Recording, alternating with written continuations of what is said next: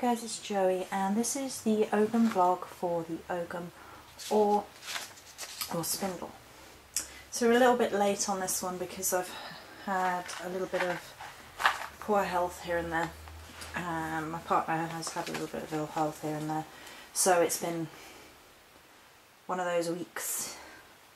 So just to quickly retouch on some of the meanings, sudden insight, enlightenment, purification. I think I think really that's that's all we need to touch on. If you want to know the meanings deeper, again go back to the connecting video. Also connected to the pheasant, which I wondered if that might come up a little bit this week. It didn't end up coming up very much this week at all. I did note that I was going to see Maleficent this week, which ironically fits with the spindle, um, the line from the Disney animated movie, Touch the Spindle, Touch It I Say. And she was one of my favourite Disney characters when I was little, and she had a raven. so the movie is really good, it's interesting, not without its problems, but uh, very much worth a watch, I really enjoyed it. At the beginning of the week I felt very connected to the Two of Wands imagery, especially from the Puman deck, even though I hadn't done a reading. And it came to me that that imagery was actually to do with path walking and I wrote this uh, Joanne Morris 2014 All Rights Reserved. In every step along our path there is a choice. Sometimes it can be very hard to see but it's always there. We have the choice to be better today than we were yesterday or fall into old patterns of behaviour that get us nowhere new. Repeating the same old mistakes doesn't lead to wisdom only removing ourselves from destructive patterns can do that. Embrace the fire that burns away all that no longer serves and take the first steps towards a new dawn. And there's a couple of quotes here. If you dance with your heart, your body will follow. Maya Michaels. Find strength in silence. Watch to see the truth before taking action. Kay Dunbar. Seawolf Journey. So that sort of set the framework for the week. There was a lot of that balanced with purification this week. There was a lot of purification this week, and because of that, my notes are somewhat lessened, but I'm going to talk about the purification bit here. So, with getting sick, that's sort of my body purifying itself of germs and whatever. And coming through that is that purification process. It's obviously not always an easy thing. And I talked about spiritual growth in the video about Morrigan yesterday, spiritual growth being a difficult process. And it's actually like a self cleanse of everything that no longer serves you, and it's often a really difficult process. So it can often result in physical sickness. I also deep cleansed both my altars this week and I recommend anybody doing that at least once a month. Probably once a month for a deep cleanse as long as you are cleansing on a, on a regular basis, as long, you know, if you're working with it regularly. And for deep cleansing your altar, I mean taking everything off it, physically cleaning it. Um, I use Florida water I've used Florida water for many, many, many years. I actually had a really weird relationship with it. I've started using it at the very beginning of my path and loved it. And then I couldn't find it for years. And then it's gained popularity again in more recent times and I've been able to get a hold of it. And you know, you can make your own, but it involves having vodka and vodka make I think I'm pretty sure it's vodka. And um, vodka makes me feel quite ill. So, you know.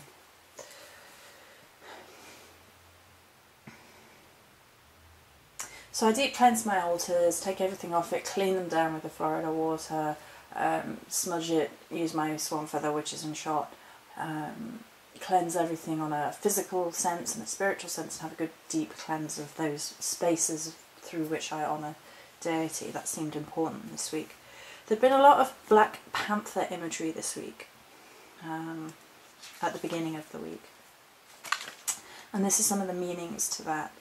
Powerful and protective presence, courageous, valour, power, solar vibrancy. Black panther has the greatest mysticism associated with it of all panthers.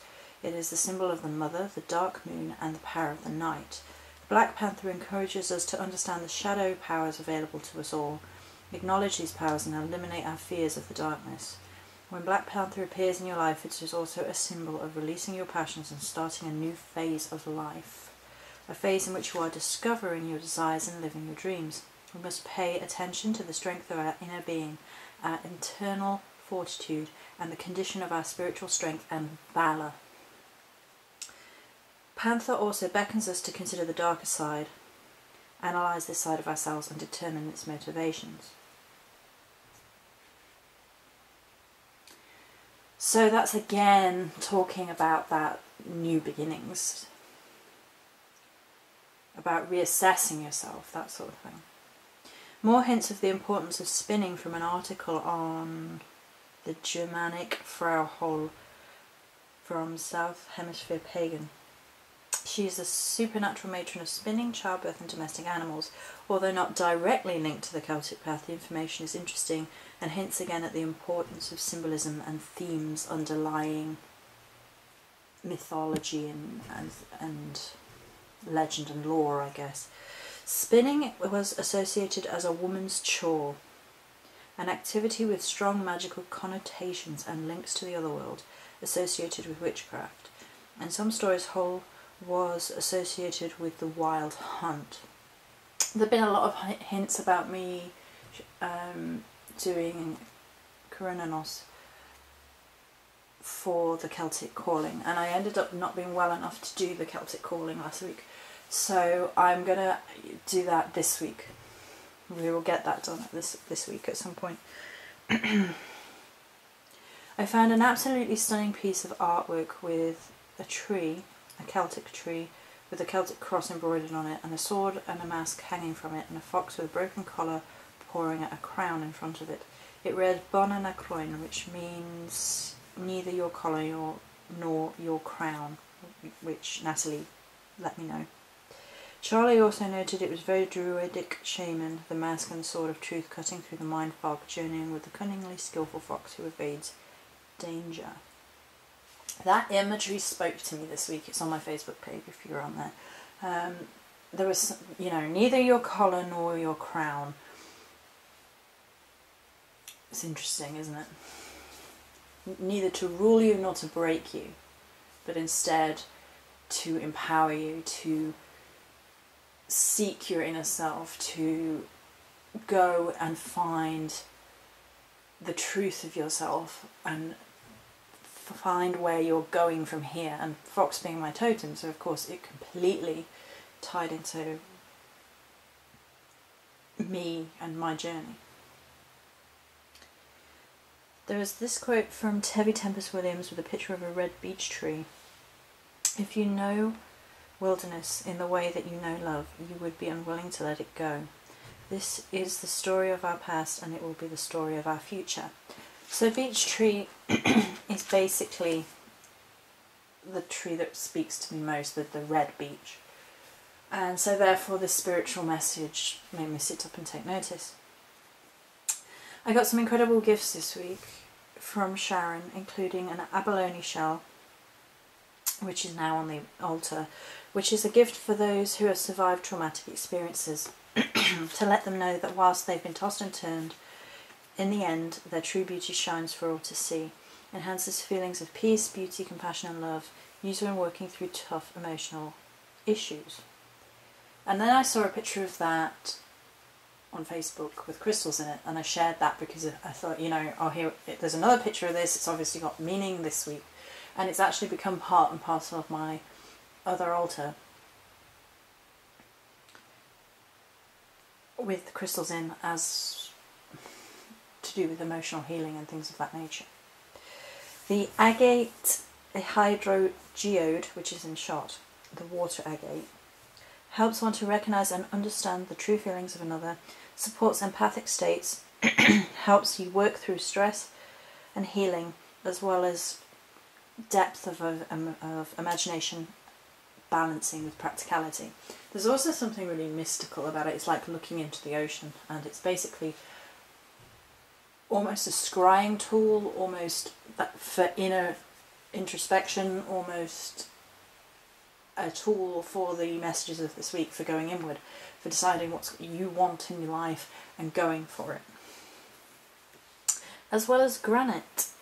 And granite was interesting this week because a lot of us sort of dismiss stones, such as granite, as a building material.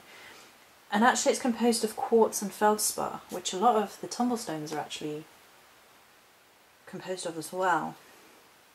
It helps one to see the big picture. It helps to banish the negative traits of skepticism and train the user in the difference between belief and knowing.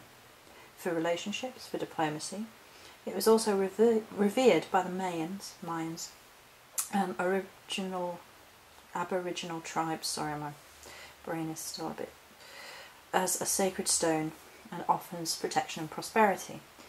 And it teaches us something about realizing the magical nature of things which often are disregarded and the folly in ignoring things such as stones and granite and things. But it also sort of teaches us that, you know, the way that we view things now is not necessarily the the way that we should be viewing them, that we've lost a lot of knowledge, that we have forgotten a lot in the pursuit of this modern society. And I think that's very true with a lot of things. Um, I often think we've lost the ability to walk softly on this earth because of the modern obsession with materialism and we must have this and it sort of comes at the cost of the environment. Seen a lot of masquerade masks this week and poppies, both in life and imagery. I actually went to the market midweek and saw a masquerade mask, and I was like, oh my goodness, because I never see masquerade masks in in person. And there was one on the store and it wasn't my cup of tea looking at it, but it was there and looking at me, you know. so for masquerade masks, I think that harkened back to uh, the shaman mask, which we're going to discuss in a minute. And poppies have been everywhere this week, and there are a load of them lining my drive. it's feminine for moon, water, fertility, love, sleep, money, and luck. A call perhaps to pay attention to dreams. They have been vivid this week. Uh, I had a dream where I was bitten on the wrist by a vampire, and it went along the lines of I'd been in the service of a family whom I think were at war with the vampires. and there was this really horrendous vampire general who was known for his abusive treatment of people, and then his commander, who was known as a, a better, more caring individual, and the commander is the one that actually took charge of me so that I wouldn't end up completely. I don't know. Um, Um, tortured, mutilated, or whatever by the, the, the commander guy, by the captain, the the head guy, and he bit me so I on my wrist, so I then belonged to him. as well as having dreams of not being prepared for exams at school horrifying in my mind and waking up and being like, thank God I don't have exams anymore. At least not in that sense. A quote from Wild Woman Sisterhood Wild Moon Woman, you were not made to be tame. You are an earthquake shaking loose everything that is not soul. Shake, woman, shake. I love that. I love that quote. The masquerade stuff is fascinating. I saw one at the market it was gold, which isn't my thing. as well as harkening back to the neither collar nor crown fox art shamanistic. Also had a mask. Masks of the shaman are representative of their guardian spirits, and they believe that they can induce a state of trance by wearing these masks and establish a link with the said guardian spirit. Can also be worn as a form of supernatural protection against dangers. And that was from Trance Shamanism, Body and Soul by Rebecca Busak. There was also a picture with a masked man following that, and the quote I must not fear, fear is the mind killer, fear is the little death that brings total obliteration. I will face my fear. I will permit it to pass over me and through me, and when it has gone past, I will turn the inner eye to see its path. Where the fear has gone, there will be nothing, only I will remain. Dune.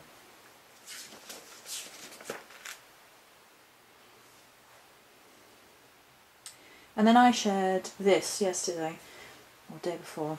Uh, I am not going to tell you what to believe. I am not going to tell you that you should believe in anything at all. I simply ask that you return the favour. I try to walk my path to the best of my ability with an open mind, an open heart, and personal honour. You can only offer an example, nothing more, nothing less. What you take from that is your business. How I live is mine. and then obviously I went to Ely yesterday and, and got a whole bunch of crystals and a lot of them are to do with breaking down the walls of what was within yourself and becoming who you are meant to be. I won't go through all of them again because I've just done the video, so the excuse me, the crystals are on the crystal haul video. So we'll have the poem and then we'll talk a little bit. The poem is my own intellectual property, all rights reserved. I am all, I am the spark, a lightning flash amidst the dark. I am the call, I am the song, to set to rights all that is wrong. For you can know and you can see with open heart and clarity. So that has been this week in a nutshell. Interestingly enough, I found a walnut shell. so it's been very much about opening. And it's feeling very much like the precursor to opening the self to new experiences, new ways of thinking, and a new way of living. I have the sense that this week has sort of been signs of awareness, of breaking down what was, of letting go what no longer serves, of cracking through the psychological barriers that we place around ourselves which make us think we can't do something, getting us ready for that revving up of energy that we have to bring to the table to rev up and do what we want to do become who we want to be, create what we want to create, and believe and have self belief. There's been doubt everywhere this week, and it's it's the passion killer. Doubt is the passion killer. It makes us think we can't do something, that we can't be something, that we can't live up to our full potential, and we should be slamming the hammer down on that fear and breaking through it and allowing that to to be what was and not what is, so we can move forward. I've seen a lot of fear this week as well, like other other people's fear of themselves, their personal power and goddesses and things, and that comes from doubt and from misunderstanding and there is a huge vibe of know yourself this week, you know, one of the uh, witchy creeds, know thyself which isn't an easy thing. People think that's an easy thing. Oh, I know me. Yeah, you, you don't until you, until you have been through spiritual growth, which is like, and this is a continuous process whereby you know you're uh, tearing those walls down and growing from that. That's spiritual growth. So there we go. That is this week's Ogham. That is the last Ogham. Gonna have uh, a new format from this week on for a little while and we will talk about that soon. Many blessings.